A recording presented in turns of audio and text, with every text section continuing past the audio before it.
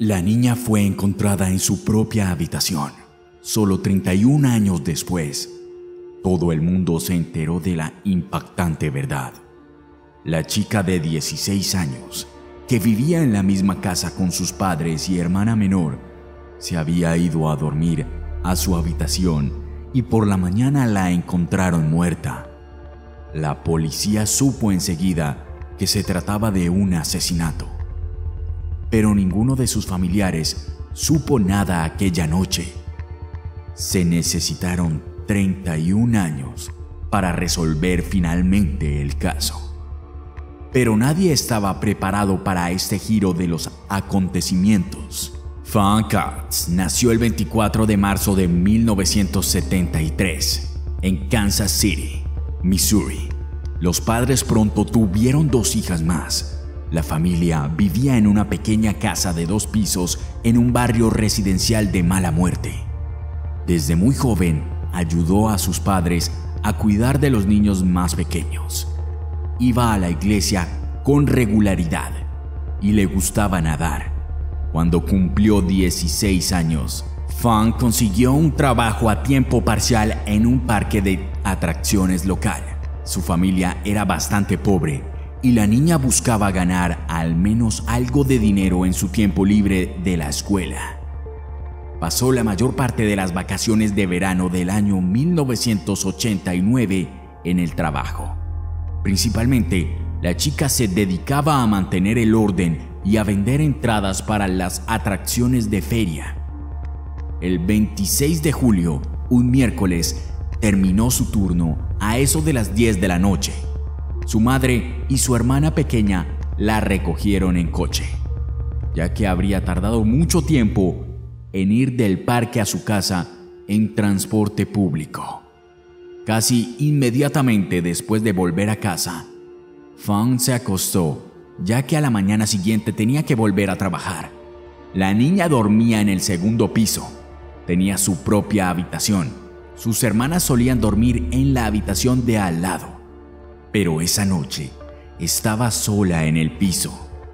Su hermana Amber, que era solo un año menor, estaba cuidando a unos conocidos de la familia esa noche. La otra hermana, Felicia, decidió dormir en el primer piso porque allí era mucho más fresco. Era una noche muy calurosa y solo había un aire acondicionado que funcionaba en la planta baja y sus padres también dormían en el primer piso. A la mañana siguiente, a eso de las nueve, toda la familia se despertó con el sonido del despertador de la habitación de Fang. Pero por alguna razón, la niña no lo apagó.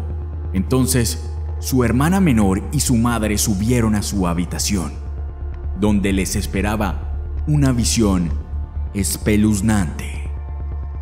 El fauno estaba tumbado en la cama, sin señales de vida, y se veían moretones en el cuello. La niña tampoco tenía pulso y sus padres llamaron inmediatamente a una ambulancia, pero ya no pudieron ayudarla.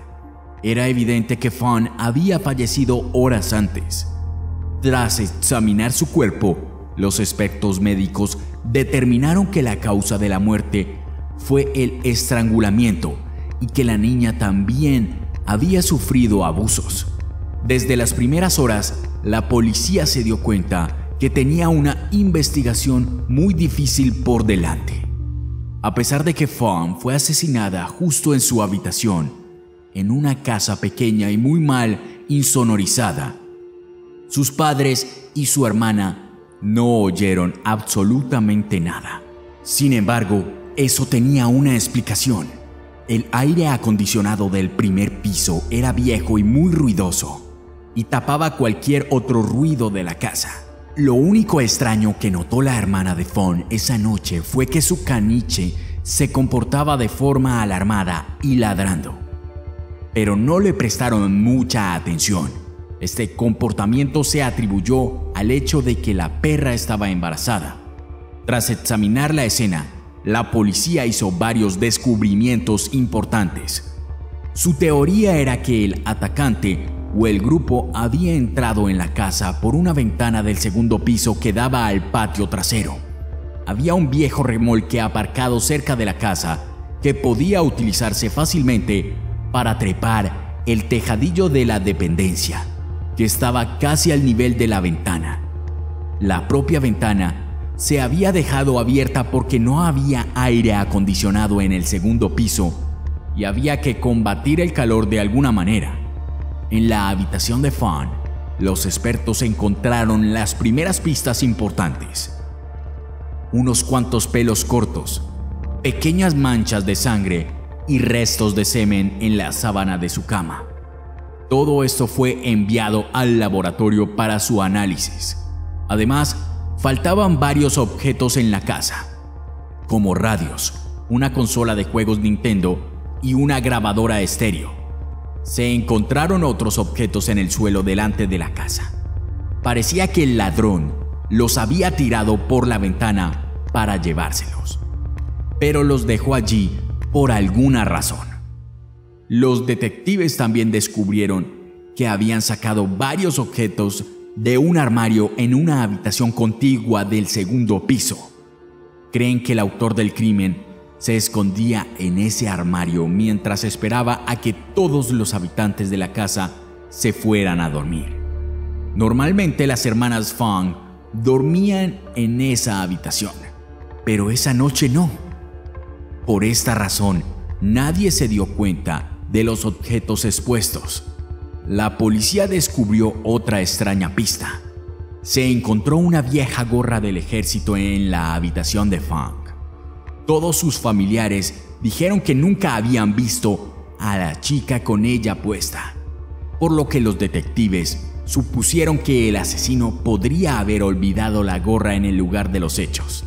A pesar del impresionante conjunto de pruebas, la policía no pudo dar con los sospechosos rápidamente el problema era que las pruebas de ADN estaban bastante poco desarrolladas en el año 89 y no existían entonces bases de datos genéticas comunes. El detective Benjamin Caldwell, que se encargó del caso, expuso una versión básica de lo ocurrido.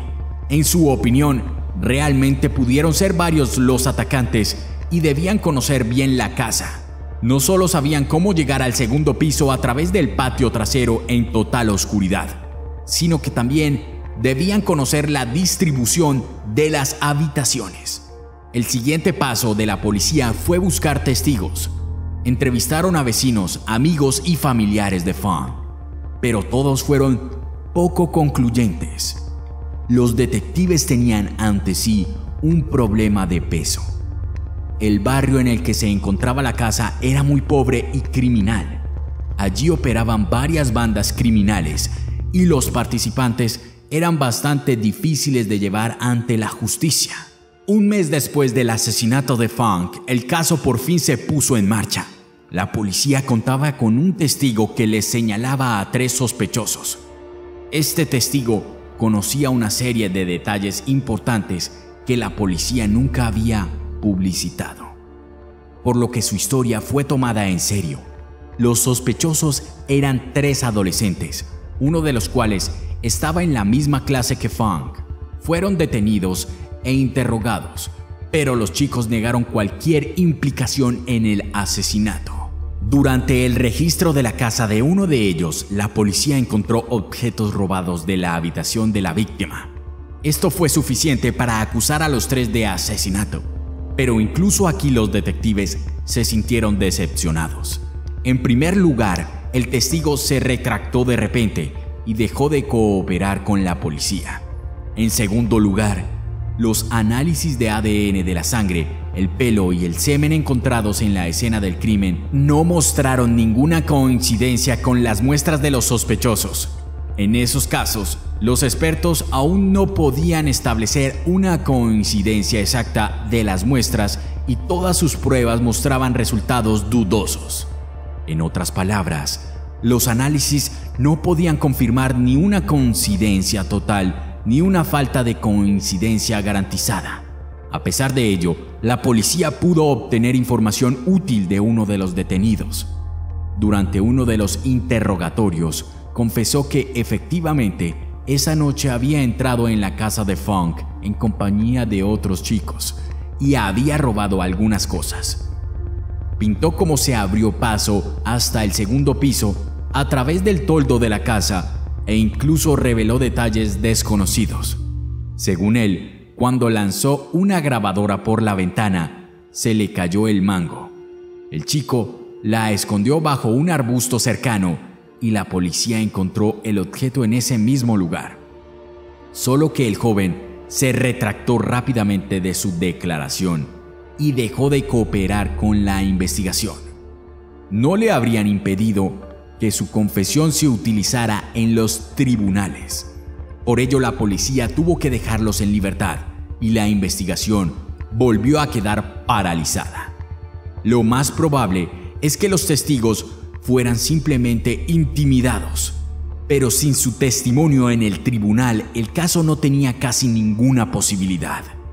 Lo único que sabemos es que uno de ellos pasó ocho meses en la cárcel por robar objetos de la casa de Funk. Desde entonces, el caso se encuentra en un largo cajón. La policía no reabrió la investigación hasta principios de los años 90 y lo primero que hizo fue subir las muestras de ADN de la escena del crimen a la base de datos del CODIS. Esta se había creado varios años antes y contenía muestras de ADN de personas juzgadas por delitos graves. Por desgracia, no se encontró ninguna coincidencia con el asesino de Funk. La aparición de esta base de datos fue el resultado de importantes avances científicos en el estudio del ADN. También permitió a la policía volver a recoger muestras de ADN de los tres sospechosos originales y realizar pruebas más avanzadas. Esta vez, los expertos determinaron inequívocamente que el pelo, el semen y la sangre no pertenecían a ninguno de ellos. Esto era bastante extraño, dado que los sospechosos fueron encontrados en posesión de las pertenencias de Funk.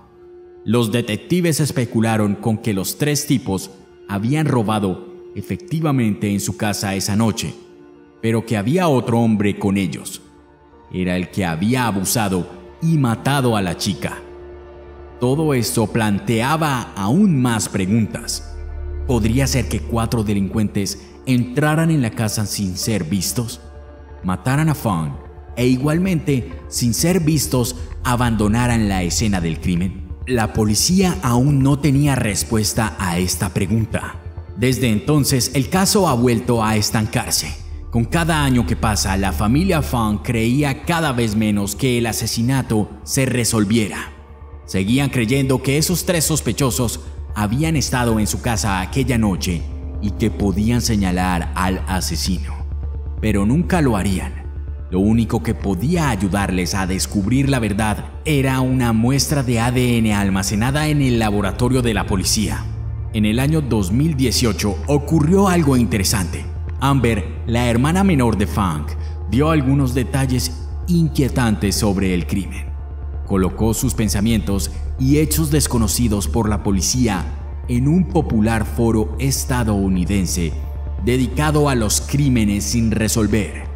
En sus 23 años de existencia, el foro ha desarrollado una reputación muy fiable.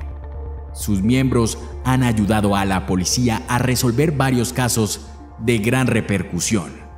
Se ha verificado y confirmado que Amber es realmente quien dice ser, por lo que su mensaje es digno de atención. Según ella, los autores entraron en la casa cuando la madre y la hija menor de Funk iban a recogerla a su lugar de trabajo. Su padre, que estaba en casa en ese momento, estaba durmiendo. A continuación, los autores se escondieron en un armario de una habitación vacía del segundo piso y esperaron a que todos estuvieran dormidos. Amber también reveló que al menos dos de los autores conocían personalmente a Funk. Uno de ellos había ido al colegio con ella, pero el otro había conocido a la niña en la iglesia unos días antes de que fuera asesinada. Amber estaba presente en el momento de su encuentro y estaba segura que el tipo estaba interesado en su hermana de forma romántica. Además, llegó a la conclusión que los criminales habían planeado originalmente matar a Funk y el robo era solo un factor incidental para la policía. Pero se adhirió a la versión que los criminales entraron en la casa para obtener beneficios y vieron a la chica dormida allí, tras lo cual decidieron violarla. Pero ¿por qué estaba Amber tan segura que era el asesinato que estaba preparando de antemano? Robar su casa, dijo, era simplemente inútil. La familia era pobre y no tenía nada de valor. Pero mucho más interesante, dijo Amber, era que los autores habían utilizado el camisón de su hermana pequeña, que había estado tirado en la habitación de al lado, para mejorar a Fawn. Esto significaba que los asaltantes se habían llevado de antemano de esa habitación y se habían escondido en el armario para estrangular a la víctima. Si no habían planeado el asesinato de antemano, si no habían tropezado con Fang durante el robo, no habría tenido sentido que se llevaran el camisón de la habitación contigua.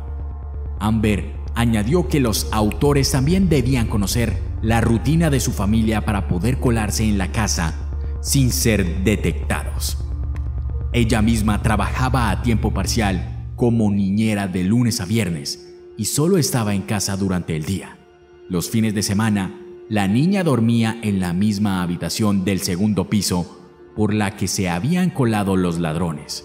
Por lo tanto, los delincuentes habrían sido descubiertos inmediatamente. Además, habrían vigilado la casa y esperado hasta que la madre de Funk y su hermana menor fueran a recoger la niña al trabajo.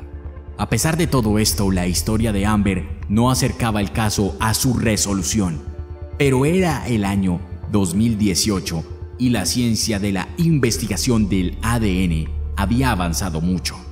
Decenas, sino cientos de casos olvidados desde hacía tiempo se estaban resolviendo gracias a las nuevas herramientas de análisis. Los familiares de Funk veían todo esto y les molestaba que la policía no tuviera prisa por reabrir la investigación del asesinato. Estaban en contacto permanente con los detectives del caso y cada vez la respuesta era la misma. Las pruebas de ADN aplicadas requieren dinero y la policía tiene decenas de casos de este tipo así que los familiares solo podían esperar a que les llegara el turno y la financiación. Pero decidieron tomar la iniciativa y en 2019 pusieron en marcha una recaudación de fondos. La familia quería cubrir por completo el coste de las muestras de ADN y también ofrecía una recompensa de 10 mil dólares por cualquier información que condujera a la captura del autor. Gracias a la amplia cobertura de los medios de comunicación y a las entrevistas con los miembros de la familia, muchas personas preocupadas respondieron a sus peticiones de ayuda.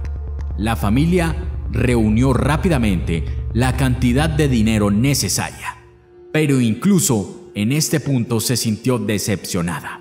El departamento de policía se negó a iniciar esta investigación a costa de los familiares de la víctima. El detective jefe explicó que en una situación así iba a haber un gran problema. Si los familiares de una víctima pueden pagar esas pruebas y agilizar los resultados, el mismo derecho deberían tener cientos de otras familias que llevan años buscando a los responsables del asesinato de sus seres queridos. Pero es sencillamente imposible realizar tal cosa en la práctica, ya que solo unos pocos laboratorios en el mundo realizan pruebas de ADN innovadoras y con tal afluencia simultánea de quienes desean hacerlo, los recursos simplemente no son suficientes. La empresa líder en este campo es Parabon Nanolabs, que ya hemos mencionado repetidamente en otros videos. Han hecho enormes progresos en el estudio del ADN, desde encontrar a los parientes de una persona a partir de las más pequeñas muestras genéticas hasta crear un retrato aproximado del propietario del ADN. Fue este laboratorio el que se encargó del estudio de las muestras dejadas en la habitación de Funk la noche en que fue asesinada. Los familiares de la niña creían que la policía no tenía prisa por seguir su caso por otra razón. Se trataba de una familia pobre en un mal barrio y el asesinato no era prioridad para los investigadores del lugar.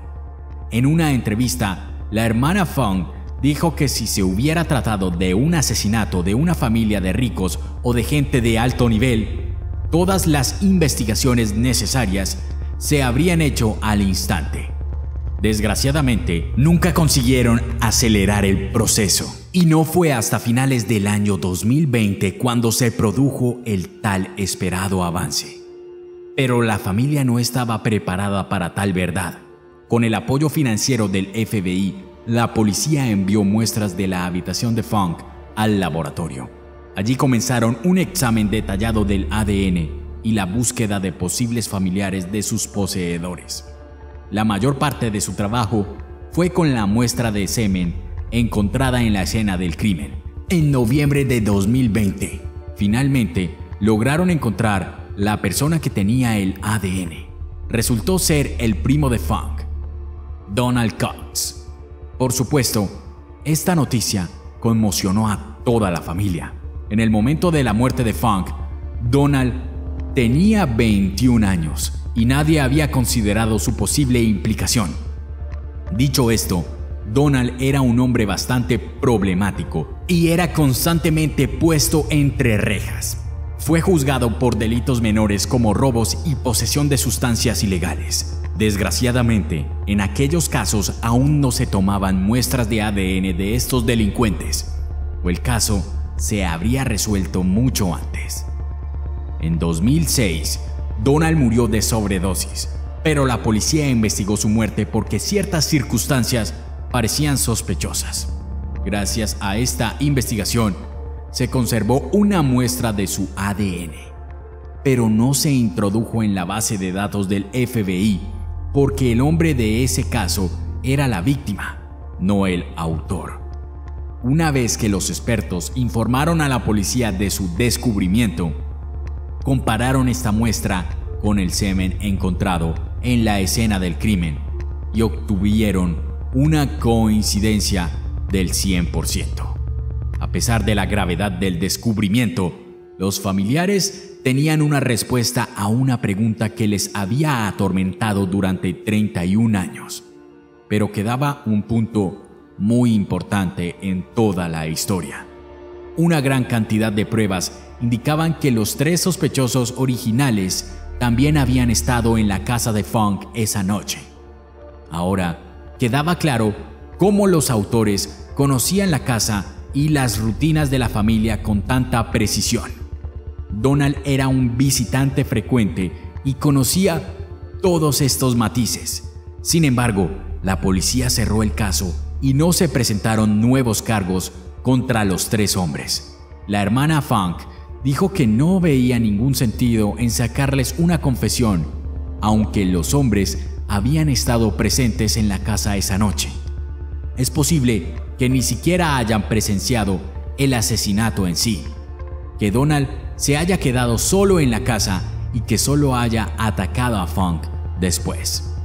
Felicia añadió que los tres sospechosos ya habían pagado por su acto.